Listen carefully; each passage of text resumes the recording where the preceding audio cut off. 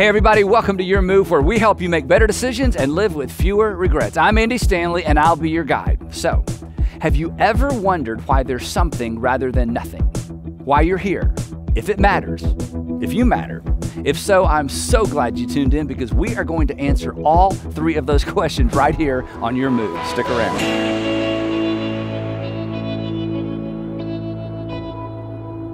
So, we're in part two of uh, this series titled The Bible for Grown-Ups. And uh, the reason I wanted to do the series and the reason I'm so glad that you're here and that you're watching or that you tuned in is because while most people, Christians, non Christians, people even from other religions, while most people know some of or parts of some Bible stories, most people do not know the story of the Bible. In fact, one of the reasons it has been so easy for you to dismiss the Bible, for some of you, the reason it was so easy for you to dismiss Christianity or to walk away from your childhood faith is because while people told you Bible stories as you were growing up, nobody ever sat down and explained to you the story of the Bible.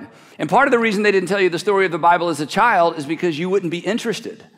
And the other reason people didn't tell you the story of the Bible is because, in many instances, the people that handed you your first Bible did not know the story of the Bible themselves. But this is a really big deal. It's a really big deal in our culture. It's a really big deal in your life. It's a really big deal for Christians. And it's maybe even a bigger deal if you grew up in the faith and walked away from the faith, because understanding how we got this is as, it's almost as important as what is in this. Because the backstory sheds light on the story. Now, part of the challenge, really for all of us, for all of us, regardless of what kind of home you grew up in, Christian, non Christian, um, part of the challenge is that the way we got our personal Bibles is very different from the way we got the Bible. By the time I got my Bible, it was chaptered and versed and mapped and wrapped, right? It was all put together. The Jewish scriptures were in here, the Christian scriptures were in here. They were footnoted. I had these cool maps in the back, and mine was wrapped, as I told you last time, in genuine, fake, artificial red leather with my name printed on it. And what color?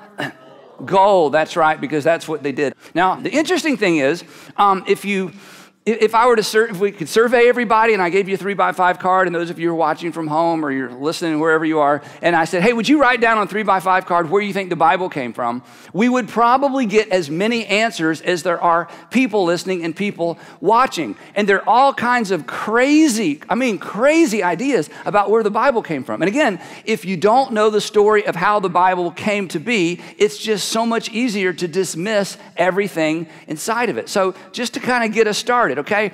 Jesus did not write it. In fact, Jesus didn't write any of it. But here is the new information, really, for most people, especially if you've walked away from faith or you grew up in faith but didn't know the story of the Bible. Jesus didn't write it, but Jesus is the reason that we have it.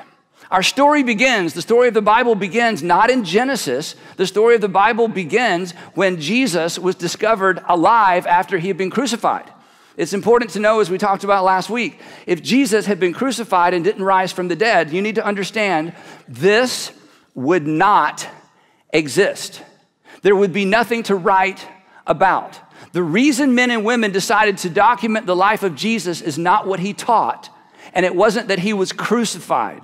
Jesus made too many claims about himself. The fact that Nicodemus and Joseph of Arimathea actually took a lifeless body down from a Roman cross proved that Jesus was not who he claimed to be, and he was not who his followers hoped that he was.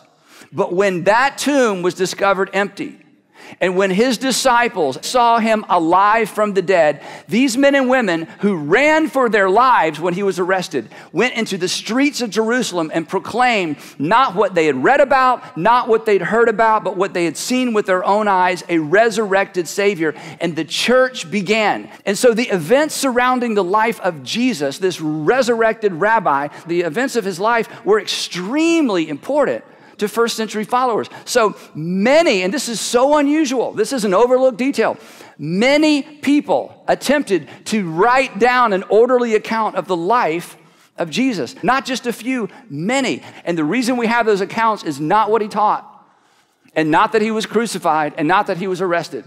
The reason someone sat down to document the life of Jesus is because he rose from the dead. So, consequently, we have in this document we call Matthew that's an account of the life of Jesus, Mark, Luke, and John. And as soon as these were written, and they were written in different times, but as soon as they were written, they were, uh, they were immediately, immediately considered valuable they were immediately considered reliable and consequently sacred because of the story it told and inspired. And very quickly, these four documents were considered by the early church to be scripture.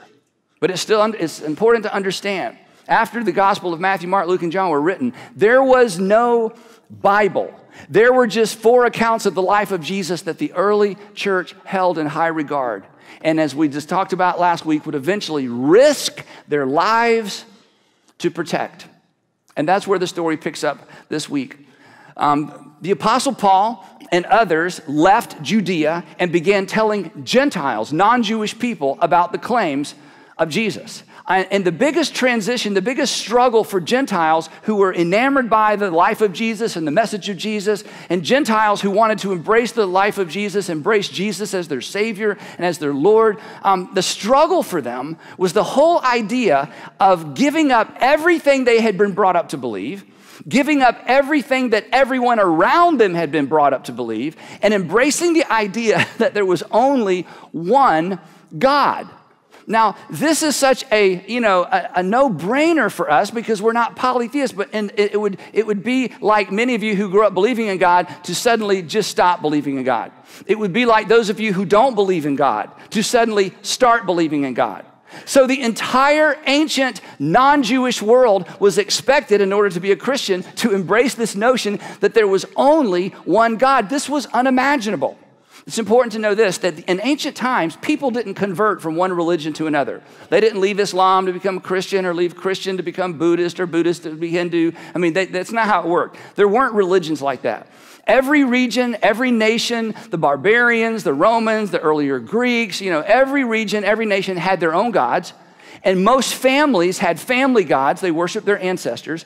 And so when you moved from place to place, you just took your gods with you, you just put them in a sack and brought them, set up your family altar, and nobody really cared what gods that you worshiped or, or served. And as we said last week, the Roman Empire, they didn't care who you worshiped as long as you paid homage to Caesar and as long as you did not dishonor the Roman gods, you could keep your household gods, you could keep your family's gods. It just didn't matter. And then Christianity comes along and says, no, you have to give up all your gods. So this was an obstacle for Gentiles to embrace Christianity, but more and more and more in different parts of the world, Gentiles came to faith in Jesus. But the idea of there being one God seemed to them to be very novel and very new. Now, this is a really important part of our journey, and we're going to talk a little bit more about this next week, but this is the part maybe nobody told you when Gentiles, when Gentiles became enamored with one particular Jew, they became enamored with the sacred text of the Jews. Now, before Jesus came along, this was not the case. I mean, there were always a tiny, tiny, tiny percentage of Gentiles who followed Judaism as close as they can, could. Occasionally, somebody would actually be baptized and go through a ceremony to sort of become a Gentile version of a Jewish person. But for the most part, Gentile people had virtually no interest in Jewish religion and virtually no interest in the Jews until they were introduced to the gospel and the teachings of Jesus and the claims of Jesus. And they were confronted with the Apostle Paul and Peter and others who were eyewitnesses to the resurrection. And when they discovered that the Jewish text, which they called the law and the prophets, not the Old Testament, that wouldn't come till later, when they discovered that the law and the prophets were the backstory to this new story, they became interested in the Jewish text. They weren't interested in Judaism, and this causes a problem later on. They were interested in finding Jesus in the text of the Jewish people. But to their amazement, when they discovered that the Jews, whose religion was older than the religion of the Romans, that was older than the religion of the Greeks, they discovered that the Jewish people had always, from the very beginning, only believed in one God, Yahweh. Now, a little bit of history for you before we get back into the plot line, because this is important. You know, during the um, first century and second century, third century, Christians were persecuted by the Romans because the Christians, as we said last week, would not worship the gods and would not declare that Caesar is Lord. But the Jews had never worshiped or honored the Greek and the Roman gods, and the Jews had never declared that Caesar was Lord. So, a question you may have never asked before, but you should ask, is why is it that the empire, the Roman Empire, gave the Jews a pass, but they persecuted the Christians? I mean, the Jews were just as guilty as the Christians of not declaring Caesar as Lord and not honoring any of the Roman gods, but the Romans left the Jews alone. And do you know why Rome allowed the Jews to have a pass as it related to Caesar and the Roman gods? And this is very important because Rome honored ancient things. And the Romans knew that the Jewish religion was older than the story of Romulus and Remus that the Jewish religion was older than the pantheon of Greek gods. They recognized that the Jewish scripture and the Jewish religion was older than any of their religions. So even though they didn't honor Yahweh as God, they honored the fact that the Jewish religion was older than their religion, so the Jews got a pass.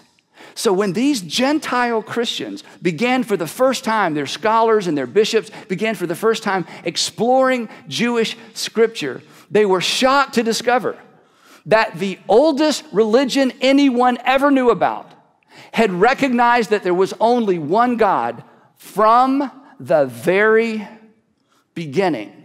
The implications of this were staggering. The implications were that since ancient times, every single other nation that worshiped multiple gods that every family that worshiped their ancestors, that every single, single culture since ancient times had it wrong. And the Jews had known this from the beginning. They opened up, they unscrolled that first segment in the Jewish text that we call Genesis. And here's what they found In the beginning, God. We've heard this so many times. We've read this so many times. You've argued this so many, against this so many times. You've disputed whether or not this is true or who wrote it, but don't, don't, don't, don't miss the original context. And don't miss the implications of the original context. This was, this was shocking to the ancient world because what they would expect to find is what they found in all the other Jew, and all the other non-Jewish cults and creation stories. In the beginning, the gods but God? The word Genesis is a Greek word. It actually means origin, the first book of our English Bibles. Moses wrote the first five books we know for sure of the, our English Bible and of the Jewish text. But something very interesting happened that has affected every single one of you here and every single one of you watching and listening. Here's what happened. In the 19th and 20th centuries, archaeological finds made the claims of what we find in Genesis a little suspect. In 19th and 20th centuries, archaeological finds created doubt regarding the origins of the Jewish or the Genesis creation account. And here's why those doubt, where those doubts came from. They found Egyptian, Sumerian, um, Canaanite, and Babylonian creation texts. They, they discovered these texts, and they were very similar. They were very similar, or so they thought, to the Hebrew text. Um, they were so similar that the initial assumption was this that these ancient Hebrew texts actually borrowed from other ancient creation stories. The assumption is, look, this wasn't, this didn't come from God. This doesn't, I mean, this, the, the ancient Hebrews just borrowed from all these other stories. So it's just, just one of many stories. Why take it seriously? The point being, it's not unique.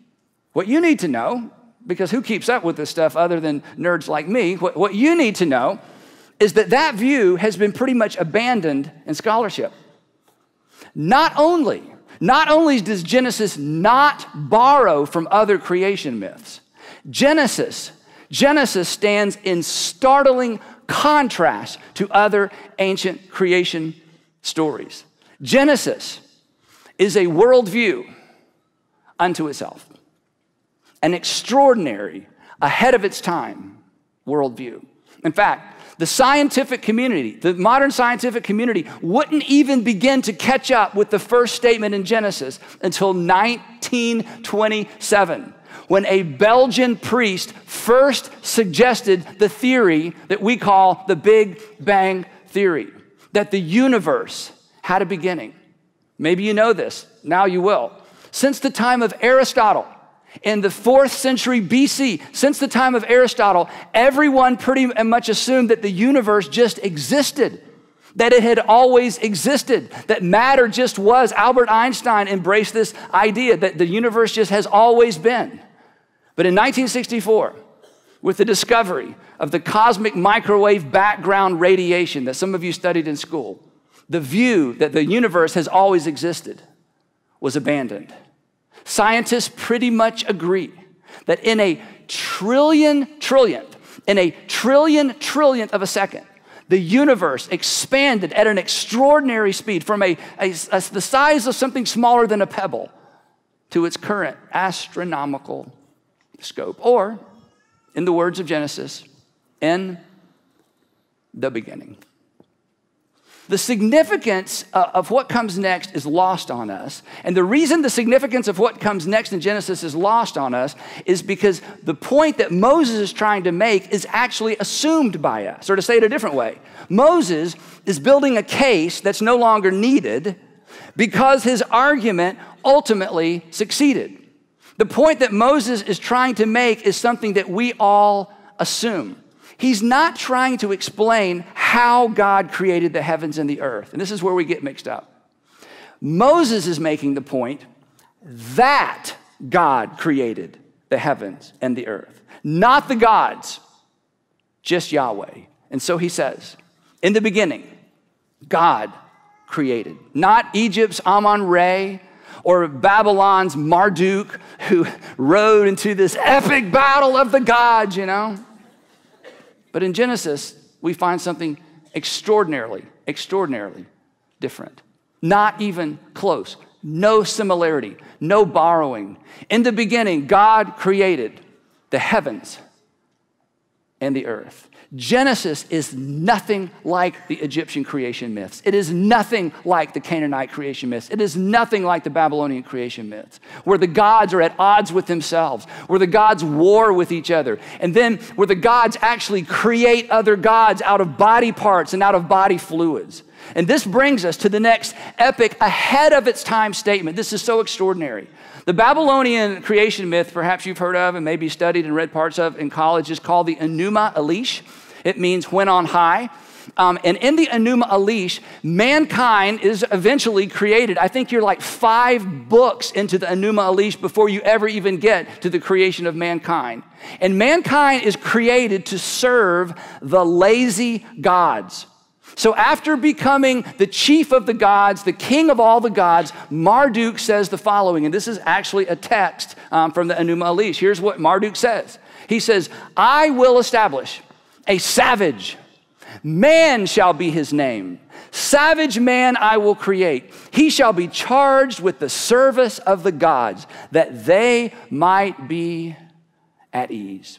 In all of the ancient creation myths, mankind, womankind, is an afterthought to take the load off, to lighten the load of the gods. Genesis is completely different. Because of the way ancient people embraced these ancient mythologies about their gods, individuals had absolutely no rights. Women had absolutely no status, no hope. There was no intrinsic value in anyone. The violence and the injustice, the violence and the injustice of the gods justified the violence and the injustices of their leaders, the men and women that worship them. They were acting, the, the kings of these foreign nations and these pagan cults, the kings were essentially acting like their fathers in the heavens. And then you come to Genesis. In stark contrast with no parallel, nothing even close, a concept that the human race continues to struggle with even to this day Genesis tells us the religion that was older than any of the current religions in the first century. Genesis says what no other pagan myth said. Then God said, Let us make mankind in our image. In the Jewish text, the creation of mankind, womankind, is the pinnacle, not the afterthought of creation, which means, don't miss this, dignity the dignity of every man, the dignity of every woman, the dignity of every child is established at the very beginning. This was unheard of. There was no parallel anywhere. And the pagan mythologies and the pantheon of gods that would develop after this through the ages, none of them established this kind of thought or this kind of idea. But it gets, there's more.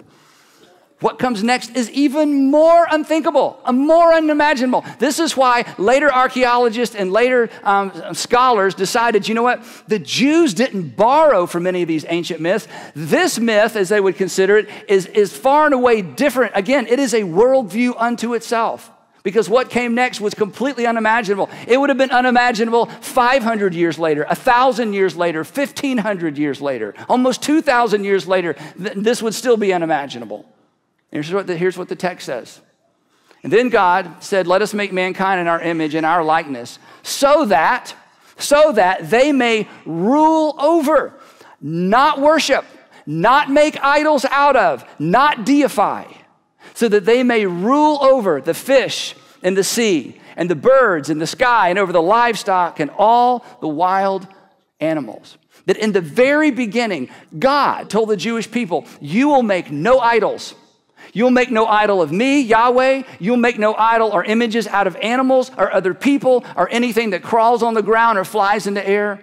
You will have no other gods before me because there aren't any other gods. And I'm telling you, in stark contrast to the Egyptian um, pantheon of gods that they had just escaped from, God says, You will not worship nature. Think about this. You will not worship nature. You will rule over nature. The implication being, you will be the stewards of this world. An idea we are still wrestling to the ground this very day. Every single pagan culture following the establishment of the Jewish people worshiped nature and the elements of nature and the animals of nature and all kinds of mixtures of animals of nature. From the very beginning, God established a unique worldview. So God created mankind in his own image, unthinkable. In the image of God, it's repeated for emphasis. In the image of God, he created them. Ladies, male and female, he created them. Look up here. You've heard me say this before if you've been around. I think every woman should be a Christian. Jesus was the first to elevate the status of women. This is why so many women follow Jesus. But, ladies, in the very beginning, the God of the Jews, who became the God of the Christians, gave you dignity that the world is still trying to catch up with today. Only recently has civilization begun to wrestle the way it needs to wrestle with the dignity of men and women. And it was there in the very beginning. Now, our problem with this, our problem is, is, is we get distracted. Because when we read Genesis, we think, oh, Moses is trying to explain how God created the world. I mean, how in the world? Come on. How in the world can anyone understand in ancient times, especially how God created the world? His point wasn't how God created the world. His point was that God created the world. And we get all confused and focused on the timing and the sequencing of the creation account, and we miss, we miss the magnificence of these ancient statements. Moses, this is no exaggeration, Moses dropped a bomb in the very beginning. Moses introduced a radically radically different, unparalleled, untested worldview. This would be the foundation of what would later be called the Golden Rule. And the Golden Rule is not reflected in nature. And let's be honest, the Golden Rule isn't even reflected in human nature. But the idea was introduced at the very beginning when God said, You are not a means to an end, you are not to worship nature. I'm going to make you as close as possible to me. I'm going to make you in my image, which means every man, every woman, every child you are ever face to face with bears the image of their creator.